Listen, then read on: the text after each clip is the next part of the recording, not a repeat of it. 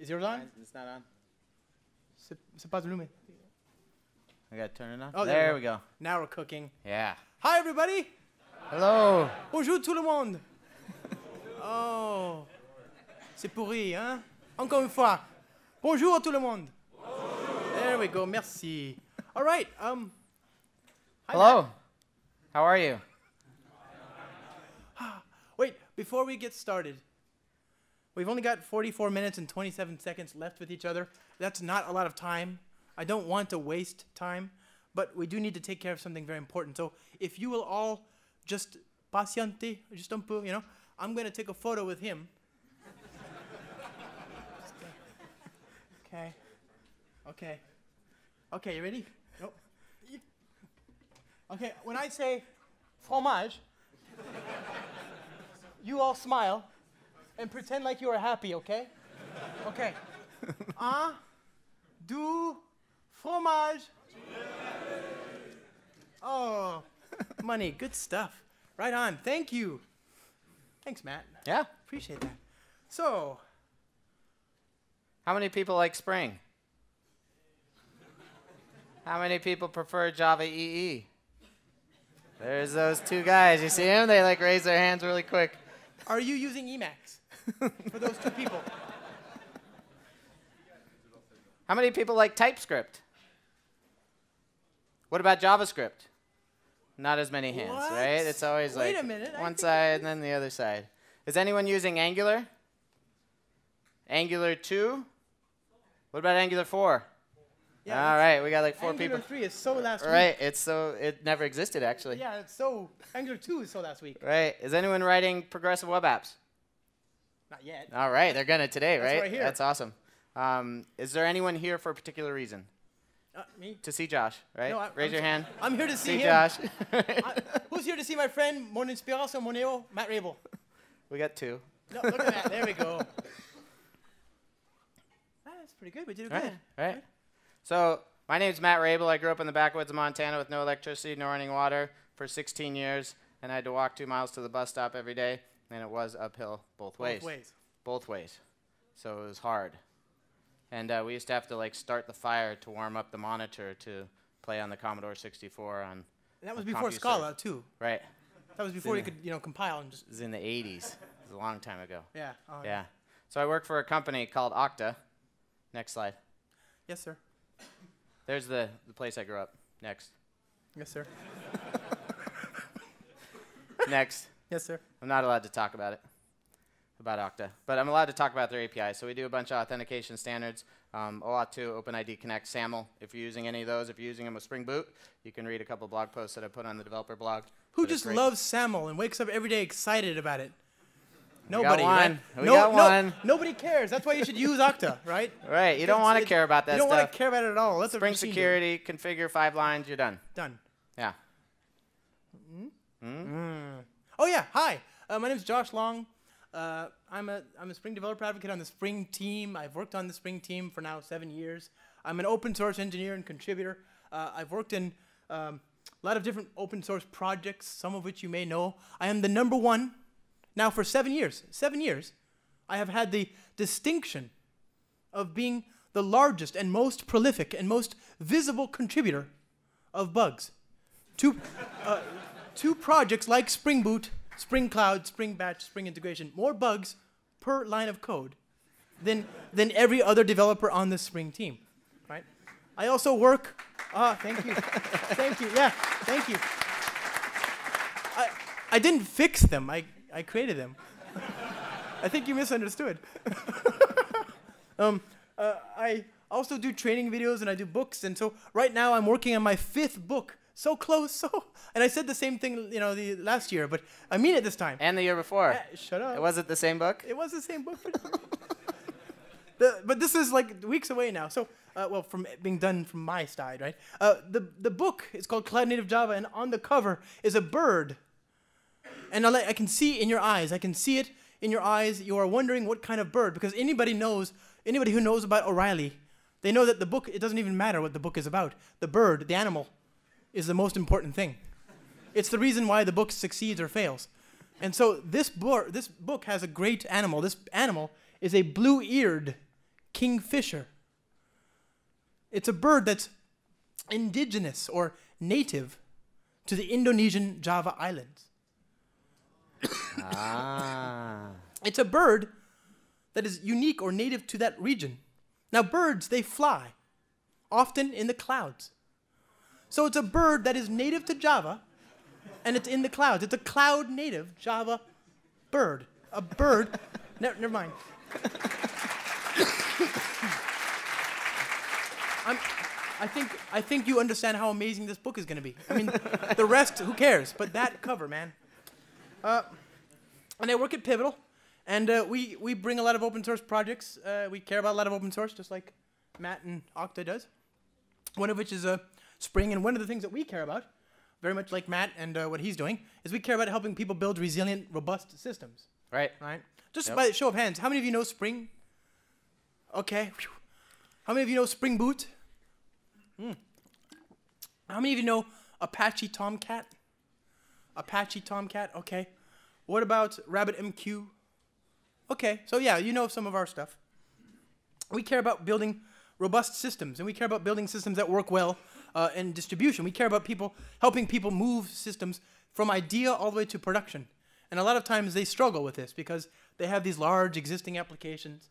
They want to decompose them. They want to make them smaller and easier to manage, easier for small teams to work on.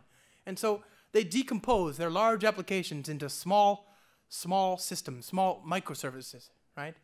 And uh, then they want to create, you know, they have to create these different kinds of clients as well. Lots of clients that are talking to it, iPhones, Androids, HTML5 devices, etc. Uh, and so the question, you know, it becomes very, it becomes very difficult for these teams that have moved to this architecture to optimize for organizations. It becomes very difficult for them to build systems that work correctly when there are failures. And there are going to be failures everywhere, right? The, the internet is full of reasons for you to fail. Very few, very and few. full ways- of failures. yeah, and full of failures. People. Just people, exactly. so the, the the thing that people struggle with is how do I build a system that is robust when there are failures, right? We've all run into the fallacies of distribution, right? The fallacies of network uh, networks and computing, right? Which are listed here. How many of you have seen this list before in some form? Okay, yeah, these are things that people assume about building systems that just aren't true, right? The network is reliable, latency is zero, bandwidth is infinite. There's one administrator, right? It's free to call to call a service over the network. It doesn't cost anything, right? These are all lies. Fake news. um, so people run into this, right? Yeah. Now, what we want to build today, what we're going to do to talk about, you know, we have a two-part thing here. So we're going to present today, right now. Uh, uh, we're going to look at how to build a back-end system that is robust and that does the right thing. Uh, And then we'll build a front end front-end thing. client that does something similar and allows you to actually work offline. That's the whole progressive web app thing. So, um, progressive systems and progressive clients, really. and it's it's a new style of development that I've learned over the last five years in the sense that we always code for the happy path, and we're kind of coding for the sad path here, Right, where we're path. expecting errors, right? And we expect failures. We expect the network to fail, and uh, and show you that this stuff can still work. Yeah. So, what should we? Uh, what's next, man? So I think we should code some sort of service around Something Beer. important. Beer. like beer. That was just on your mind, or Kinda. yeah? It's almost that time. It is that time. So, where should we begin, Matt? I think we should write a microservice architecture that actually takes a list of beers from you guys, and then we actually take out the ones we don't like and make like a good beers sort of service. Yes. So a back end and a and a edge service, right? Right. So I want to build a new application. How should we build that new application, Matt? Well, you know Okay. one of your favorite places on the internet. My my second favorite place on the internet. After production, right? And so anybody who knows me knows that I care about production more than anywhere else in the world, more than anything else in the world. If you have not gone to production, you should go. It's wonderful. It's almost as beautiful as Paris. You know, the weather is amazing. The people are friendly. It's the happiest place on earth. It's better than Disneyland. but if you are not already in production, then begin your journey here at start.spring.io. If you need inspiration in the early mornings before a cup of tea or coffee, start.spring.io. If your children can't sleep, start that spring.io. And if you suffer from heartburn or indigestion after a long night of alcohol abuse and PHP, start.spring.io. So we're going to build a new, a new service, a new application. What kind of, so we don't call it what? Like a beer catalog Okay. service. A beer catalog service. And we're going to use, uh, it's going to be a web service, right? We're going to have to, s- You got to make a, a bad choice too. yeah, bad web application. We need to store the data. Yep. So I'm going to use uh, H2. I love H2. How many of you use H2 for prototyping, that kind of thing? I love H2. It's an in memory, embedded SQL database. And because it's in memory and it's embedded, that means that every single time it restarts, it loses all of its data. So it's very, it's, it's very similar to MongoDB, very similar uh, in that way. Um, all the time, just randomly losing the data. I'm gonna use, I'm gonna use JPA to, to handle the persistence because I make bad life decisions. So JPA. I'll bring in actuator for operational concerns. I want to. I think we're going to need to be able to find this thing from our edge service, right? So Right. we'll need uh, service registration discovery. I'll bring in the Eureka client. You probably want dev tools. Those are awesome. Dev tools, yes, dev Yeah. tools for live reloading. Lombok is a compile time annotation processor. I'm using Java, but you can use uh, whatever you want, right? There's a lot of different choices. Anything on the any language on the JVM that supports annotations and objects will work just fine. So Scala, uh, Kotlin, uh, Ceylon, Groovy, Java, anything you want, in any order, doesn't matter. Um, what else do we need, my friend? REST repository support. Yep. Okay. Am I missing something? Probably. Okay, we'll move Can on. add it later. So obviously there are lots of other cho- choices, and I encourage you to peruse this list at your own discretion later when you have time, you know. But for our purposes, I think it's fine.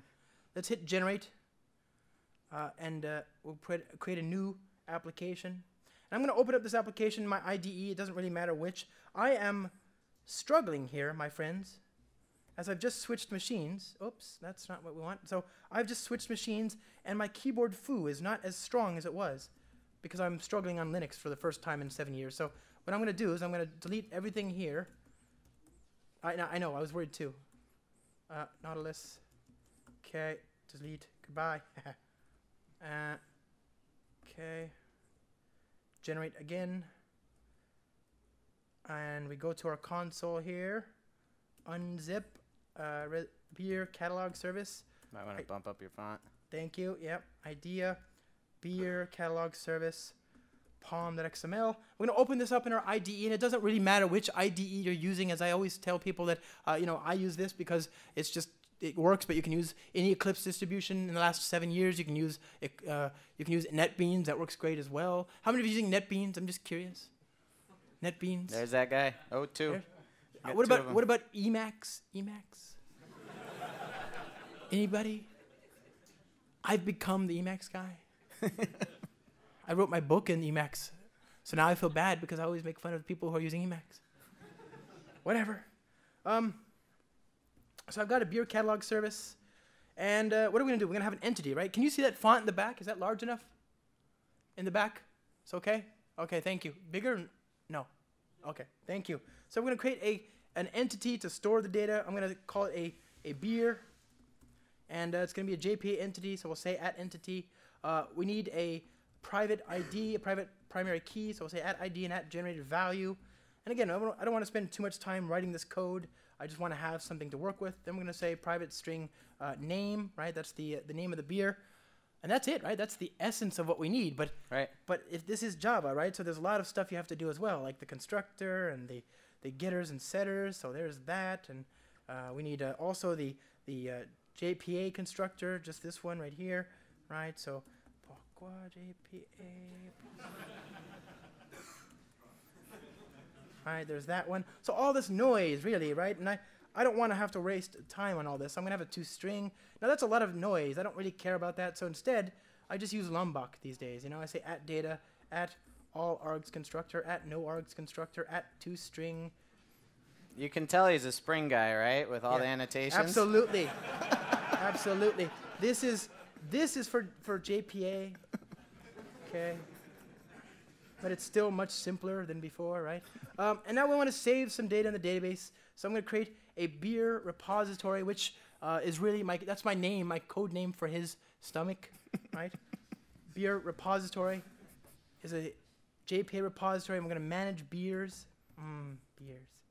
And uh, th- then we need to save some data in the database, right?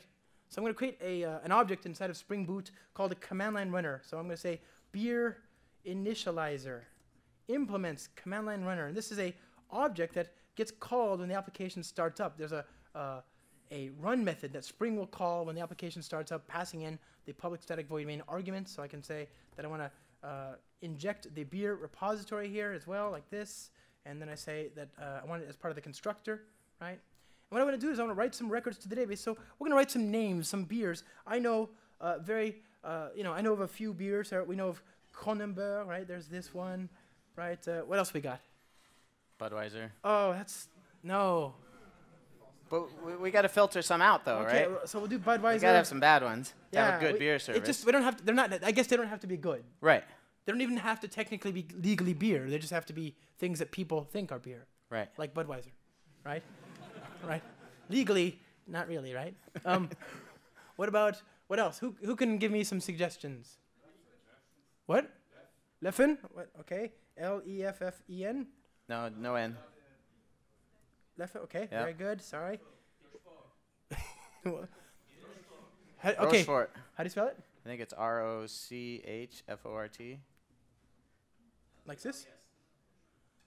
Without the okay, like that. Before. Ah, or okay, Russian. There okay. we go. Very good.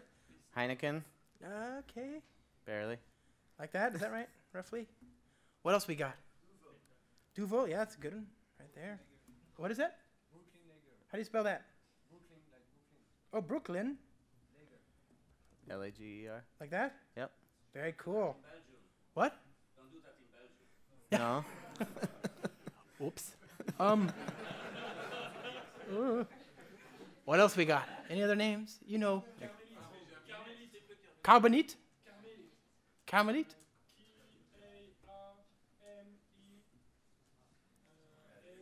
L O T. Ca- Carmelite. Camelot. E- R E T. Like that. Oi. K. K for the first What, letter. what is it? K.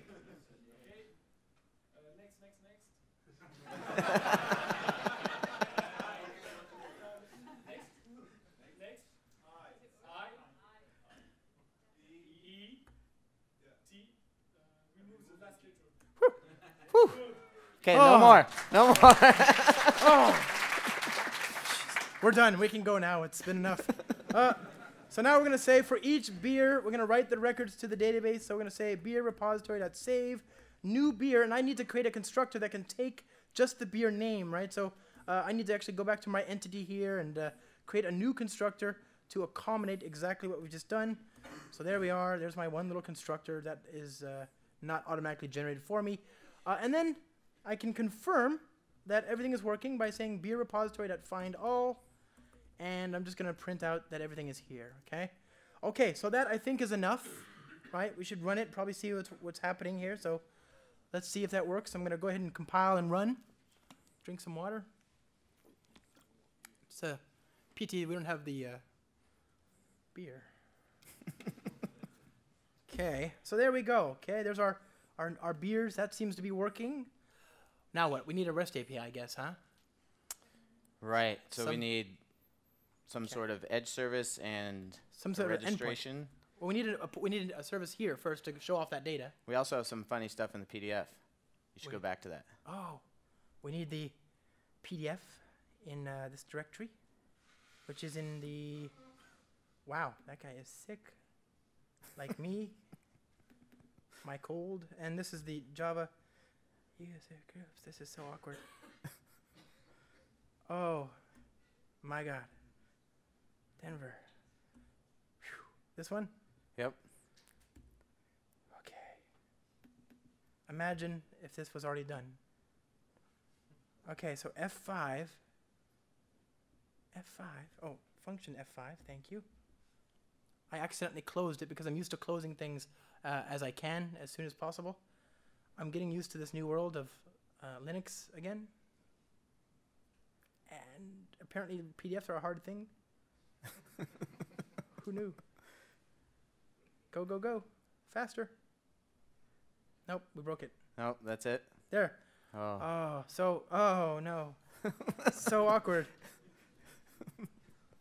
These are supposed to be well timed at the beginning. Yeah. Lost. Wait a minute. Okay.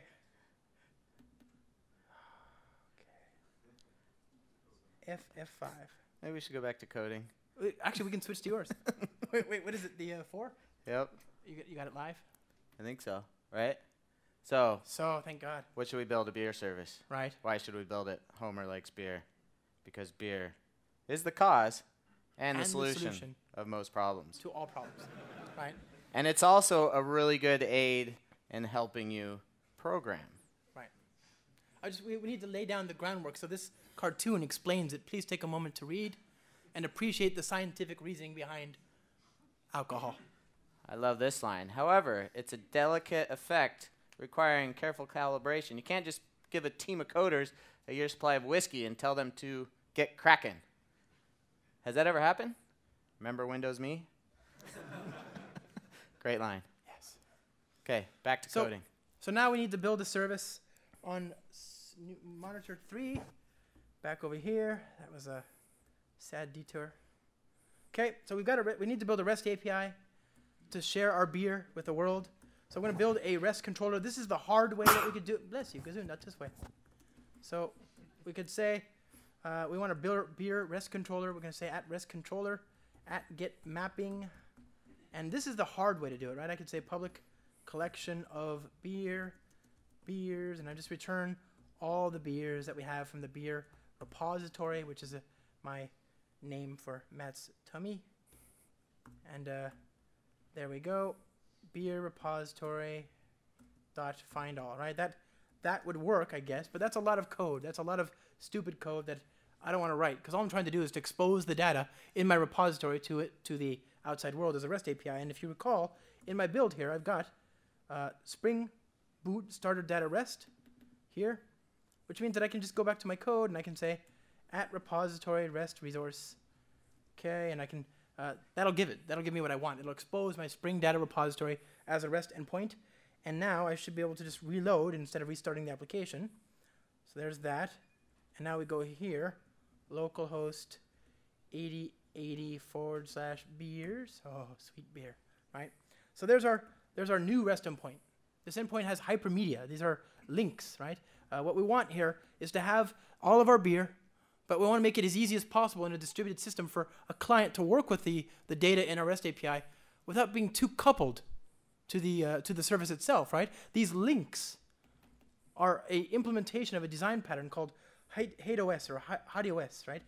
Hypermedia as the engine of application state. It's the idea that every REST resource has enough information for the client to use that REST resource without any upfront knowledge, right? It promotes self-describing services. This is very important when you move to a distributed systems world because very few developers write documentation and none, absolutely zero, read it. So we need to make it we need to make it as easy as possible for them to communicate, right?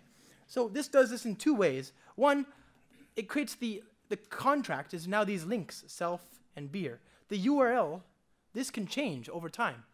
It doesn't matter what this is. This is important, right? This thing here. If the URL changes, that's okay. It's like a menu of choices, right? If I go to forward slash, I have a menu. It says there's a, an endpoint that accepts reservations, right? Like this. Page equals one and size equals, oh, uh, beers. Page equals one and size equals W, which isn't a number. D- two, there we go. So there's my few links there. And these are also contextual.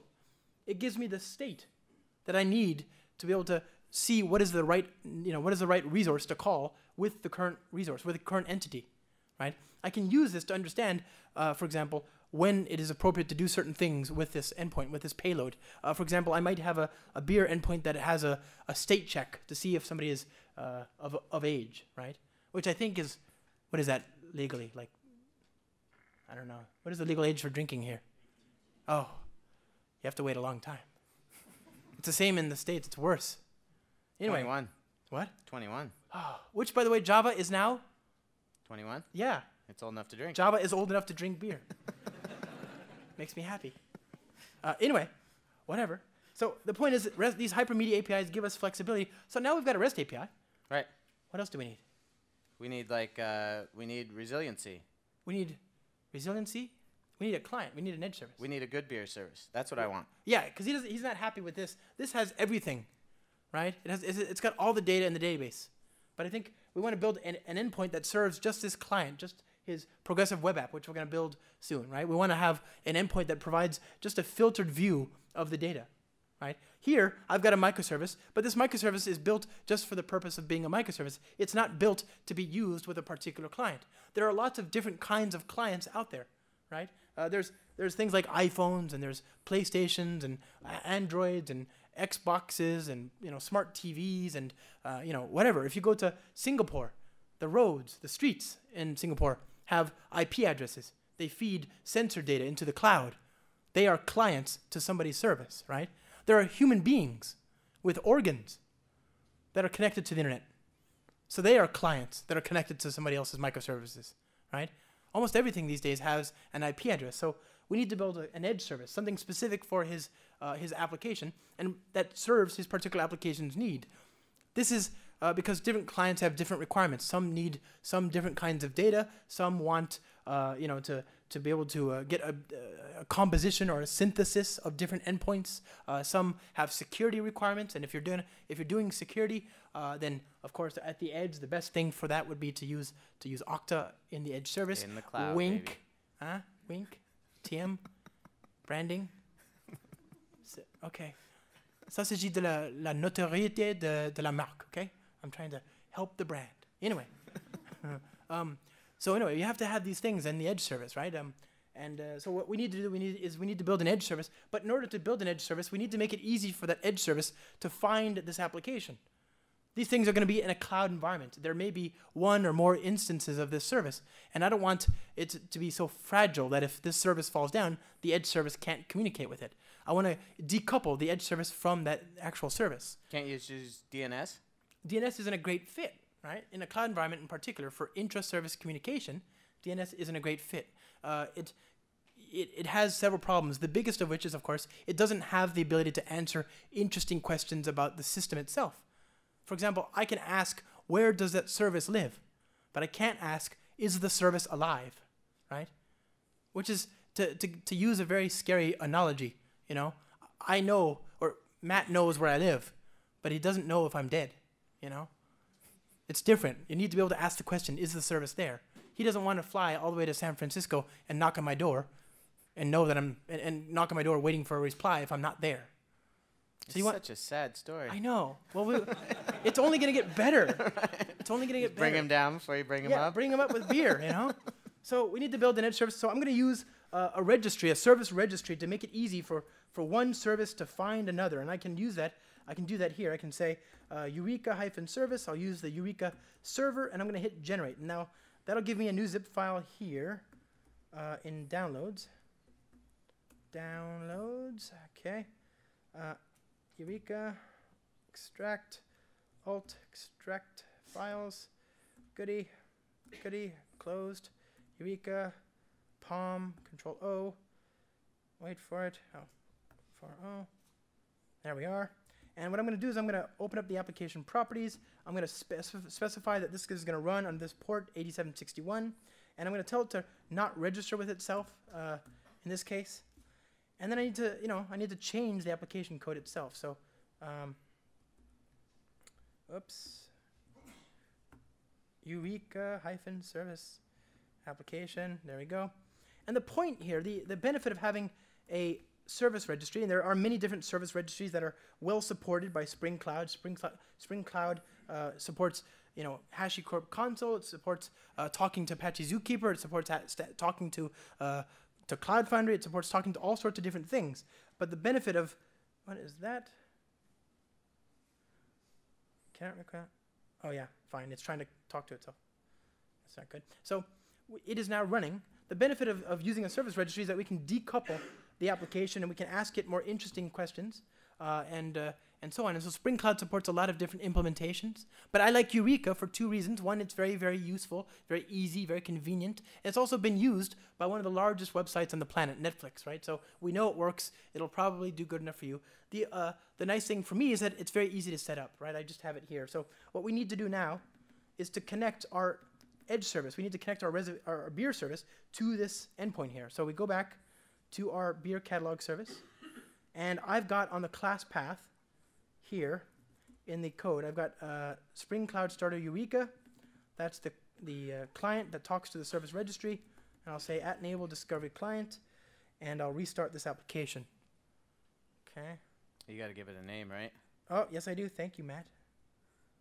Okay, application properties, Spring application name is equal to beer catalog service. And we'll restart that again. And if we go here, come on, there we are. So there's our service in the registry. It's now available. It's advertising itself for other people to find. And that's good because now we can build our edge service, right? And what I'm going to do is I'm going to build an edge service uh, called what? Edge service, I guess. Or PWA maybe? Edge Okay, service, since that's we're doing better. back ends for front ends. Yes. Um, or SOFEA, which I liked from eight years right? ago, nine years Service oriented front end architecture. Yeah. Web. It's too early for its time. Pour one out. Okay. Um, so we have what do we need? We need web. We need Zuul. We need Feign. K- Eureka. We need Feign. We need uh, REST repository support. Lombok support. Eh? That's probably enough. Yeah, let's do that. Okay. Good. So now we're going to build an edge service, and I'm just going to stand up an endpoint that we can use, uh, you know, to to um, interrogate our beer. Okay. And it's here. Okay. Uh, PWA Edge Service, pom open. All right. So PWA Edge Service application. We're going to participate in uh, service registration and discovery. We're going to tell our application that it should talk to the Eureka registry. And we're going to say that it should identify itself as uh, Edge hyphen service. I think that's okay. What about you? Yep, that's fine. Okay. Uh, we're going to say that it's going to uh, talk to the downstream service. We want to, we can do this a couple of different ways, right? We want we want to talk to the downstream service and make it available to talk to our uh, to our to talk to our client here. And there's lots of different types of clients, lots of different capabilities. Uh, we're talking to an HTML5 browser-based application, Right. right? Uh, so one thing I want to support is is um, uh, REST, of course, and I, I think we're going to also need to talk about how to talk to it from another node. Is that true? Right. Should we do that now or later? Is that later? I think that's you can talk about that when we get to it later. But for now, we need a uh, we need to build an S point uh, REST endpoint that synthesizes our data. I could we could proxy the data directly from the downstream service. We could proxy it directly from our, our beer catalog to this edge service, which is specific for his HTML5 client. Uh, but what I want to do is instead call the downstream service and then transform it instead of just proxying it back and forth. Right, right, because I want a good beers Right. service. He wants a, an endpoint that shows me just the good beers, not the bad ones, not all those ones that are questionable, right? So instead of directly proxying the results back and forth using something like Zuul, we're going to create a, a, an endpoint, an API adapter, right? So I'm going to say beer or good beer API adapter REST controller. okay. I'm going to call this a REST controller, and it'll ha- we'll have an endpoint here that just returns uh, the I guess JSON. I get a bunch of JSON structures Just with, name. just the names. Name's okay, good so enough. Yep. collection of map of string uh, string. Okay, and we want to call this um, what do we want to call this? Uh, good beers. Okay, and this is going to be an endpoint that will expose over Spring as REST. So we're going to call this good beers, and this is going to run on a different port, right? It's not going to be the same port as our other one. So I'm going to say server.port equals 8081. And uh, what we need to do now is call the other service. We need to say to the service registry, give me all of the instances of the beer catalog service. So I could do this a few ways. I could use the Spring Framework REST template. And the REST template has the ability to call other services, but it does not know about our service registry. It doesn't know about Eureka, right? It doesn't know about HashiCorp Consul or Apache Zookeeper or whatever. Spring provides this discovery client, and the discovery client, we can use that if we want to, to, to call or to act, to interact with our registry. So I can build a REST template like this. I can say REST template, but this will only work with DNS. It doesn't work with service registries and so on, unless I say at load balanced, right? And that would be, I think, okay, but that's a, I would end up writing a lot of very low level code, right?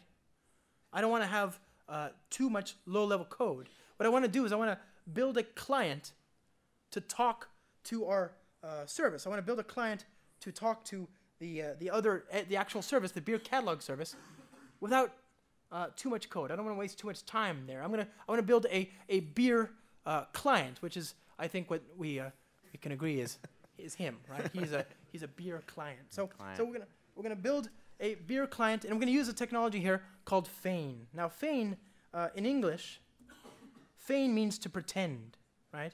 Here's feign right here. Feign means to pretend or to act as, right? So if you see like an animal in the forest with its head back, like this, it's pretending to be dead. It's not dead. Don't worry. It's pretending because it doesn't want you to bother it. It's scared. It's feigning death. In the same way that WebSphere feigns usefulness. It- it's not it's not useful. It's not. But it's pretending, right? So we want to use feign to create a REST client to talk to our downstream service. Uh, and we want to make this as easy as possible. So we can go here to our code and we say at enable feign client, okay? And so here I say interface beer client, and I'm going to create an endpoint, an endpoint declaratively. So I'm going to say call the beer catalog service. Whenever, whenever somebody invokes an, in, uh, an instance of this service, Spring uh, will create a, an implementation, so we don't actually have to, uh, to, to create all the low-level REST code.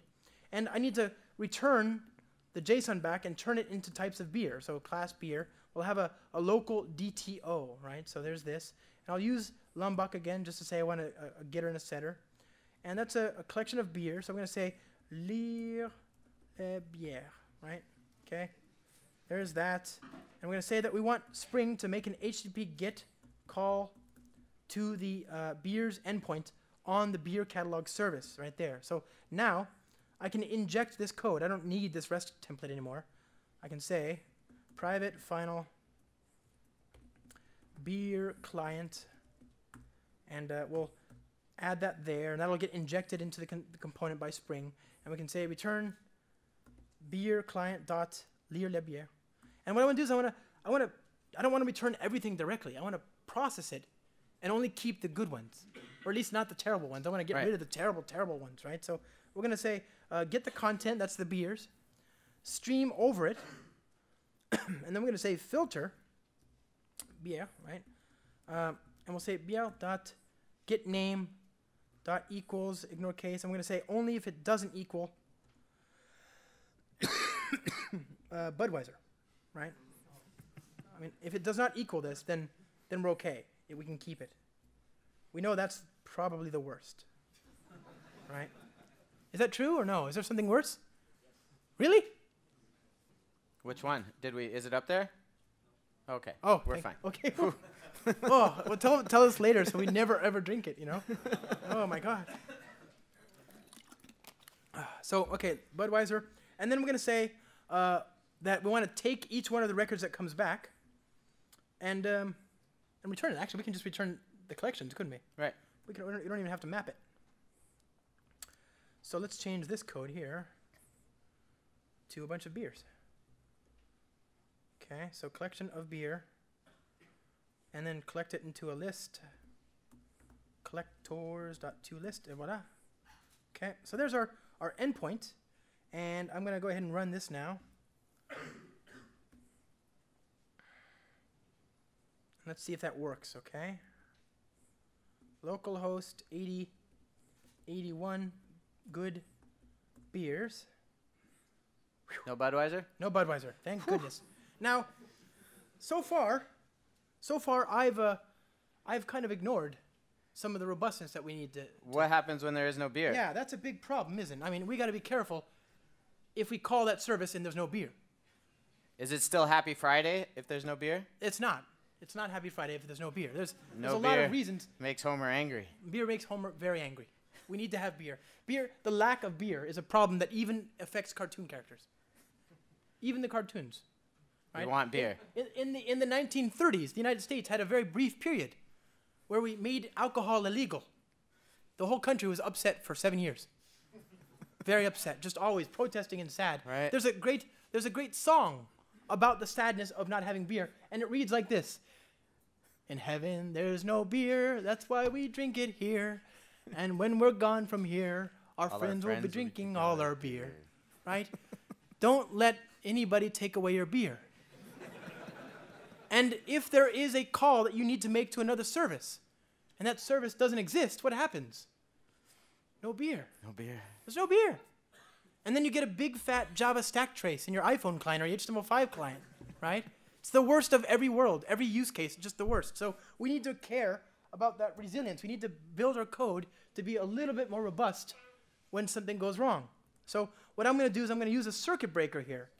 I'll say to Spring Cloud to use the uh, Hystrix circuit breaker, right? That's this here. Du-du-du. Circuit breaker. Do I already have Hystrix? So I'll say Spring Cloud Starter Hystrix, et voila. Okay. There's my Hystrix circuit breaker. And what I want to do here is I want to say at enable circuit breaker. And I'm going to build a fallback method so that if this fails, if for some reason this throws an exception, it'll call a backup method, a, a fallback method, just to make sure that at least the client does, you know, it doesn't blow up, right? So we'll call this the fallback, right? And I'll say return new array list like this. And um, we're going to tell Spring Cloud to, to call that method when something happens here. So we'll say fallback, right? So now we go ahead and restart.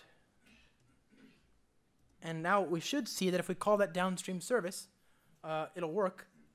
Uh, it'll give us a, an empty array list at least. Right. No Right. stack trace. No stack trace, right? Because we have a client that needs to be re- robust and resilient in the face of that service outages. So let's make sure that still works, of course. Now let's go back and kill the downstream service. So here's the beta catalog service, and we go here and empty array list, right? So we get we get something. Now that circuit breaker is stateful. It's going to be smart enough to see that there have been a lot of exceptions. And if there's too many successive exceptions, it'll call the fallback method instead of calling the service again. It'll protect our downstream service. That way, if the service is trying to come back online, if you have something like Cloud Foundry, Cloud Foundry will have a heartbeat and it'll pick it up for you. It'll restore the service. But in the meantime, our code works correctly, right? So this is just a very brief look at how to build a, a an edge service and a backend service that are that do the right thing. They degrade gracefully, right? In the particularly important use case of beer. Now, in our next talk, in our next talk, we're going to talk about we're going to take this uh, we're going to move it move the uh, the the code now to the front end. And how many of you are old enough to remember when the the the front end was simpler than the back end? Well, have we news for you? It's simple. Yeah, It only takes you like, Like- a year to learn. yeah, like like flying a rocket is simple, you know, or brain surgery or something. So, um, so yeah, in the next talk, my friend Matt here will brave. He's you know the most brave and courageous person. He will build an Angular 4 application for you to talk to this, and it will demonstrate principles of building uh, progressive uh, front ends, basically, right? Now, We've looked ever so briefly in this talk at uh, Spring Boot and Spring Cloud. We looked at how to introduce resilience into our code base. Uh, we haven't really addressed too many client-specific concerns. Uh, I think that uh, you know we can say that for now, though, uh, you know, we, we, we haven't really addressed the use cases of the client, right? So that's a, again, I think Right, and if a tree falls in the woods and there is no client, did Right. the tree really fall? we don't know. We, we don't know if we d- if you build if you build something and there's no client, who's going to use it, right? Right. So we need to build a client. Okay, so for now, thank you so much. Merci beaucoup.